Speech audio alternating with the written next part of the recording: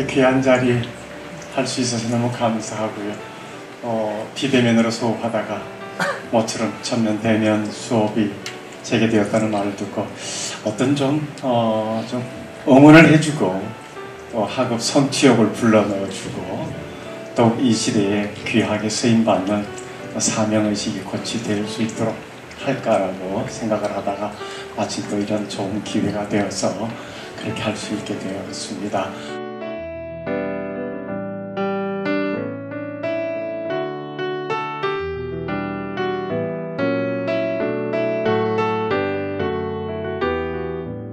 뮤지컬 요한복음은 작년 10월 21일 날 개막을 해서요. 현재까지 공연이 계속되고 있는데 약 200회 넘게 공연을 진행을 했습니다.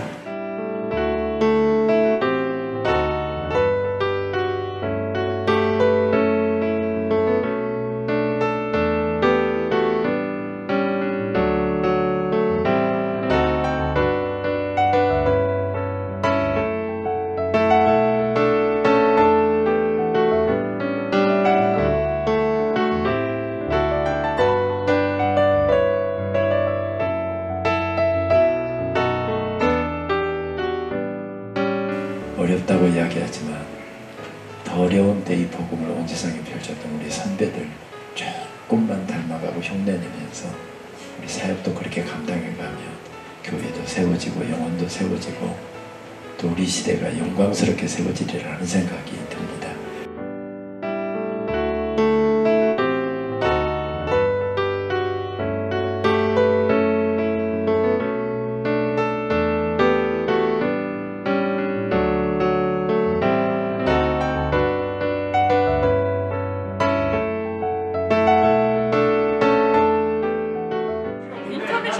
그래서 겁을 좀 먹었는데 너무나도 시간이 잘 가고 다시 한번 생각해 볼수 있는 유익하고 재미있는 시간이었어요. 너무 은혜로웠습니다. 좋았습니다.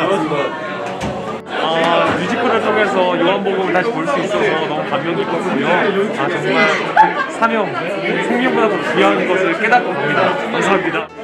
아, 네, 요한복음의 말씀을 이렇게 눈으로 또 귀를 들을 수 있어서 너무나도 감사한 기회였습니다. 감사합니다.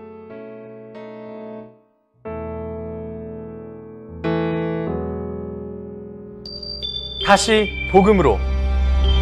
리바인 뷰티에스